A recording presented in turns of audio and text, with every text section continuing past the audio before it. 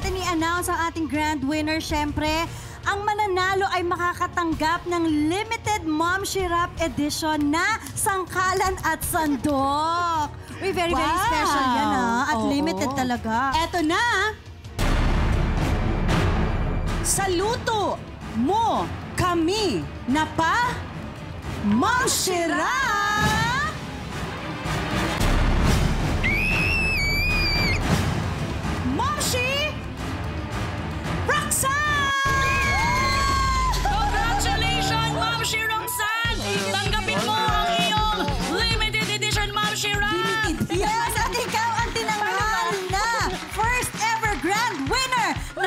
Mom Shirap, the Celebrity Oo. Cooking Showdown. At syempre, naman kasi si Ma'am Shelara ay iba naman ang napanalunan yan. Crown talaga. Pero kumusta ang experience, Ma'am Shelara? Gusto ko din nun. Dapat meron Okay. ng first runner-up. Hindi Ah, de bale. Lalabang ka ulit. yes, that's Pero very sure. madami akong natutunan na technique sa turo ni Chef. So, thank you, mga momshies.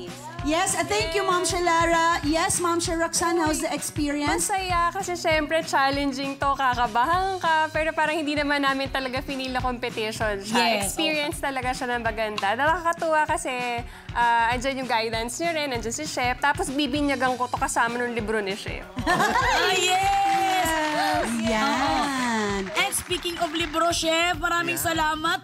Yung libro mo naman, Chef, pwede mo bang po, ana? Yan. Ang aking ah, bagong libro, Simple the Cookbook. Nag-number one na siya as bestseller ngayon. And magiging available siya globally through Amazon ngayong April. And na-nominate siya sa World Gourmand Award sa Paris, France this year. Yan. So,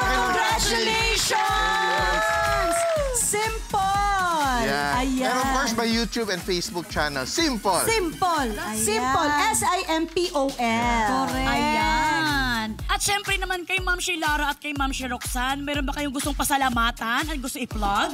Ayan, syempre maraming salamat mga momshies.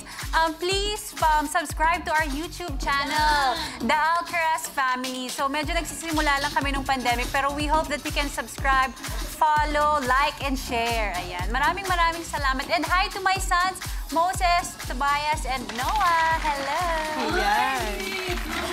Ay, okay. Yes, ah, syempre, salamat sa mga momshies, ang magandang buhay family, at sa mga sumama sa virtual ah, audience natin, Sensationals, maraming maraming salamat.